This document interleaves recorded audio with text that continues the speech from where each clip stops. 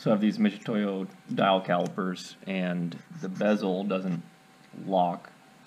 Uh, this plastic, what they call the bezel clamp is just wore out.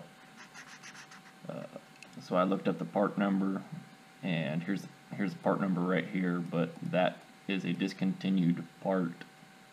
So I figured what I would do would be model one up and uh, print it on my 3D printer that's what I came up with. I uh, measured using the dial calipers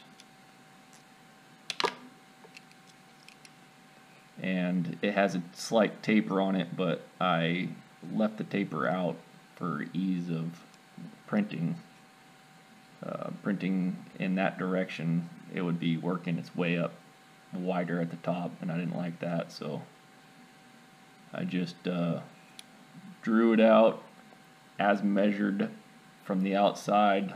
Hole diameter is uh, 100 thousandths based on the outside diameter of the screw. So I didn't scale it at all. So it's a little bit tight uh, for the screw in here.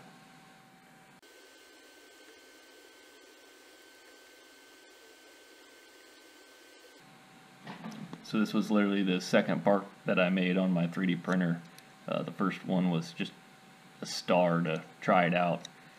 And it took me three minutes to model it up, seven minutes to print.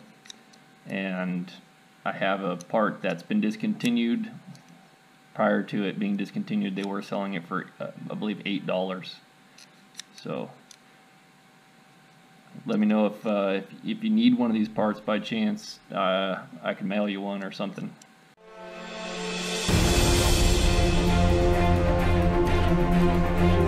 I was shooting for 195 and we got 197.